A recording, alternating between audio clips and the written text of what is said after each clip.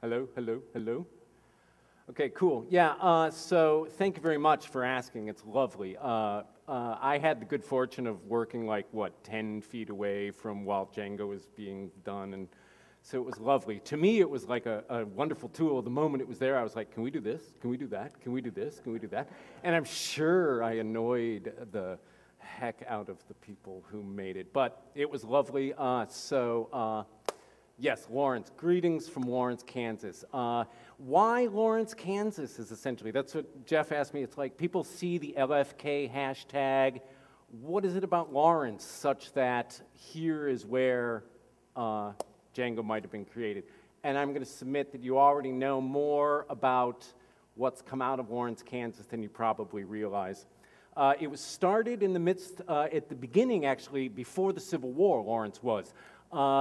Uh, Quick history Kansas Nebraska Act. Uh, Congress said you can be a new state, and people on the ground are going to vote whether or not you're going to be a slave state or a free state. So the New England Emigrant Aid uh, Company, I love their sign their up one flight. That should be a motto for something. Um, uh, they funded people to come to Lawrence. Lawrence is named after uh, Amos uh, Lawrence. Massachusetts Street uh, is named after his home state. Here's a funny, uh, it's not funny, uh, it's an interesting little uh, poster. It looks like sheet music, I think. It's something telling people to, this is a song, and scholars now believe also it influenced the, uh, the cover of Sgt. Pepper's Lonely Hearts Club Band, so it's pretty fascinating. This is the man himself for whom our uh, city is named after. Um, again, it was, it was in the middle of uh, what were, was to become the Civil War. The Civil War started here. The Civil War, actually, elements of it are within 150 feet of we, where we are right now. Um, uh, this is, uh, you know, this is what they thought we were doing, forcing slavery down the throat of uh, free soilers. Uh, uh, the sack of Lawrence, 1856. Um, this guy, he's later, he's a, he's a reb who came and burned the, the place down. Um, but uh, Lawrence became, what was going on in Lawrence became the Civil War. Um, the sack of Lawrence was intended, one of the intentions they had was destroying this newspaper's office, the Herald of Freedom. You might have seen a plaque right uh, on the corner of this building. Uh, this is where the Herald of Freedom uh, published. One of the things they wanted to do, and they did do when they came and sacked Lawrence, the Missourians, and to this day, you know, I don't know, personally, I'm not a fan of Missourians, but uh, I mean, you can't get over that slave stuff, right? uh, it's hard. Uh, so they came into town. They wanted to burn down the city, which they did. They burned down the Eldridge Hotel. I don't know if anybody's staying there. It's right over there. Uh, and one of the greatest stories about this is they took the printing presses from the Herald Freedom and dumped them into the river right down the way. The townspeople went and got the type, the lead type, from the printing press and turned it into bullets and cannonballs and fired it back afterwards at those people. And they would say, here comes another edition of the Herald of Freedom. Astounding. So here's some images of this is the sack of Lawrence. What were they trying to do? They were trying to burn the abolitionist newspapers and shut them down. They were trying to kill the uh, uh, male uh, residents so that they couldn't vote to be a free state. Here's a lovely little shot, too. Uh, it's hard to see a lot, but Liberty Hall, that's where we are. That's the big building uh, uh, in the center of the photo, and that's one of those lovely imposed photos showing where the Herald of Freedom was.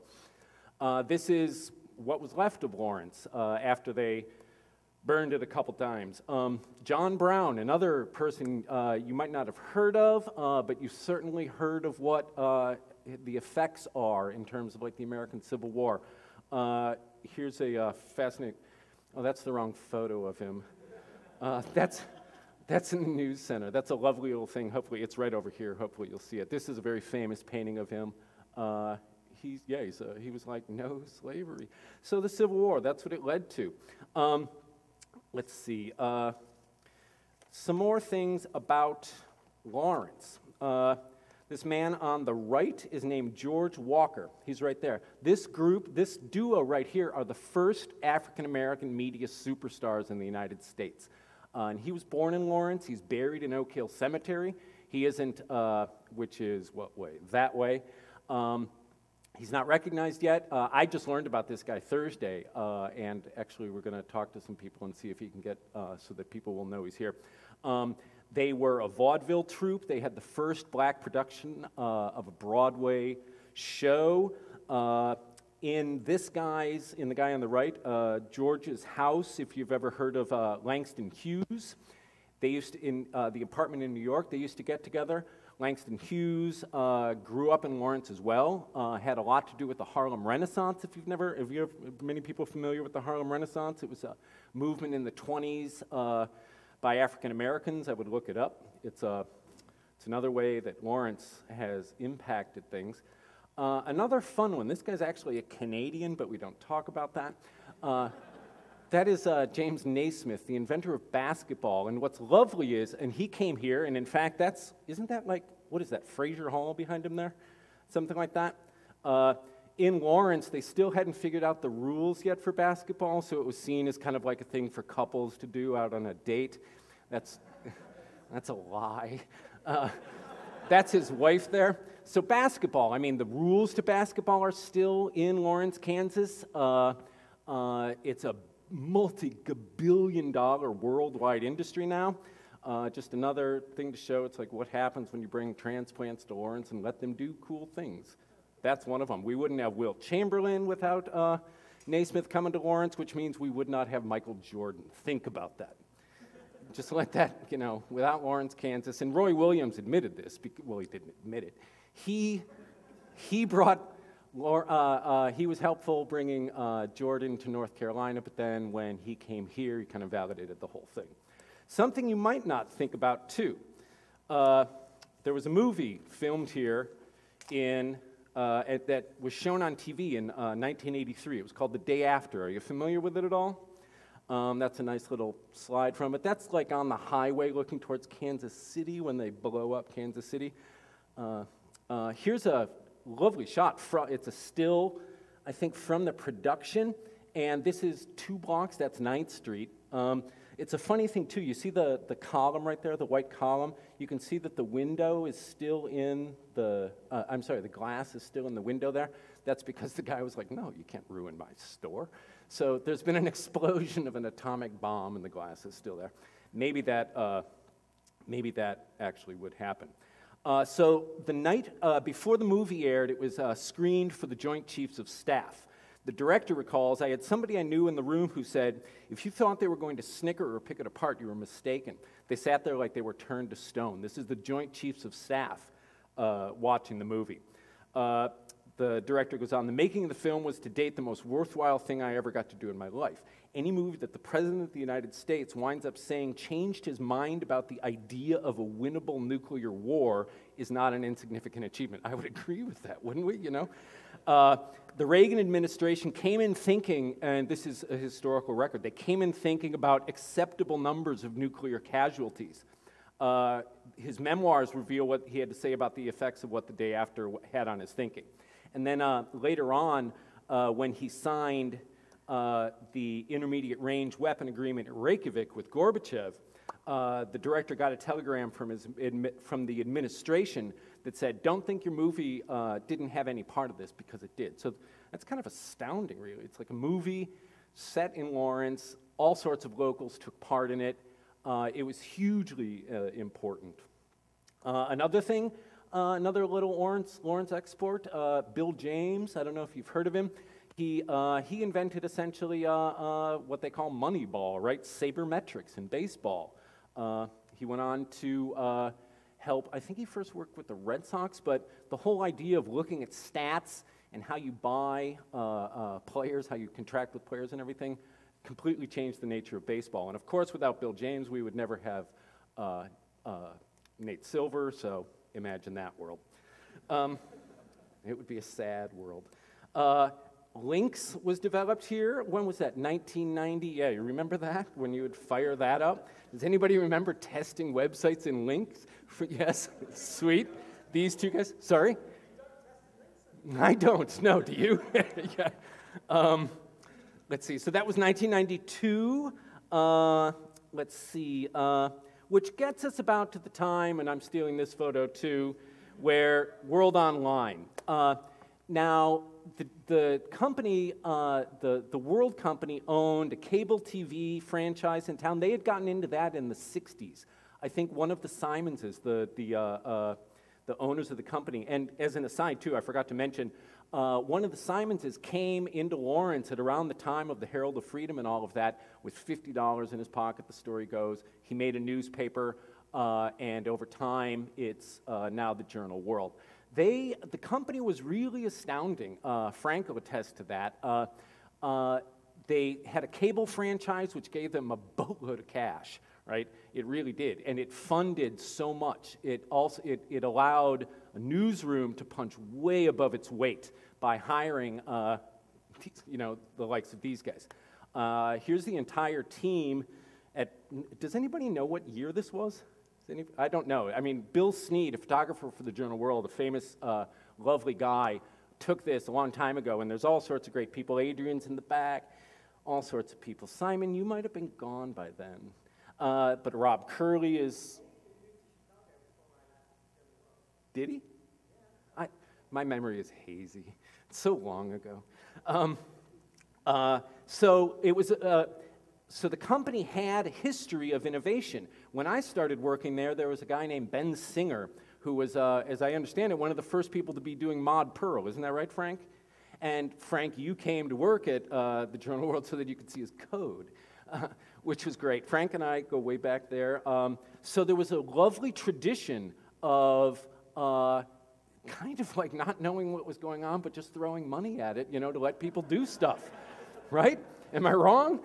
you know, you know, it's, people didn't know what was going on. Nobody knew they were, Adrian was off at his house making Django, what would become Django. Dolph, the publisher. Yeah, Dolph Simons uh, Senior, I believe, or Junior. Yeah, Jude, because three is the next down. Yeah, yeah, he's in his 90s now, and he would still write his uh, on the typewriter. It was wonderful. Um, so we had a great history there. Uh, Ralph Gage needs to be really powerfully name checked as well for what led to the development and the environment that led to the development of Django. He was the general manager for a long time. Uh, I had a great long uh, experience working with him. Not always great. Uh, dude was like intense, you know. he was a great, uh, he was, well, let's just say he was a great guy. He hires Rob as well. Rob Curley comes. Rob uh, heard of Adrian, and I'm not really sure how, and maybe this will, if Simon, if you're doing Ad, uh, you were at the Atlanta Journal Constitution, weren't you? And you did not have access to the, they wouldn't let you put your files, you didn't have FTP access, did you? Yeah, he was a programmer and couldn't have server access. I mean, so that's what, like, how some people were thinking, obviously, and Rob was like, screw that. And I remember him talking to me and saying, hey, this kid's like from, he's like from outside Chicago. You're outside Chicago. Why don't you talk to him when we come hire him? Maybe, maybe that'll do something. I don't think it did. But he did come, and then, you know, the parade of uh, excellent names Adrian, Simon, Jacob, Matt, Wilson, Dan Cox needs to be uh, uh, name checked as well for that. So it is absolutely fitting uh, that we're gathered here 10 years later in Lawrence, Kansas to reflect on Django which was first envisioned and put to use in a basement of an old post office, maybe two, 300 feet away um, from where we're sitting right now. So just to get a sense of that, right there is where we are. Oops, sorry. Uh, can you see the little green dot? That is Django official green. That's where we are. Uh, that's where Django happened. That's where uh, during the siege of Lawrence that's right outside. If you would go outside and look into the intersection, that's where cannons were firing at the Eldridge Hotel to destroy it.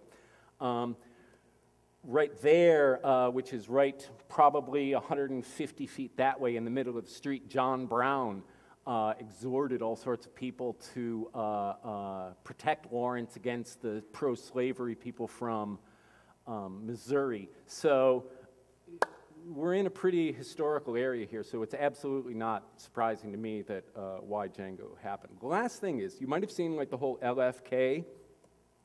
Uh, that's what it really means. Can you see that? That's, that baby did not invent it. I wanted to give absolutely a special uh, shout out to the woman who did coin it, because all sorts of people have stolen it from her. Her name is Leslie Kay. She's a local Lawrencian. Uh, she does screen printing and stuff like that. She coined and made those first shirts that look like this that say Lawrence fucking Kansas. Can I say that? Sorry, you can beep it out. My bad. Uh, see, see what? Okay, cool, yeah.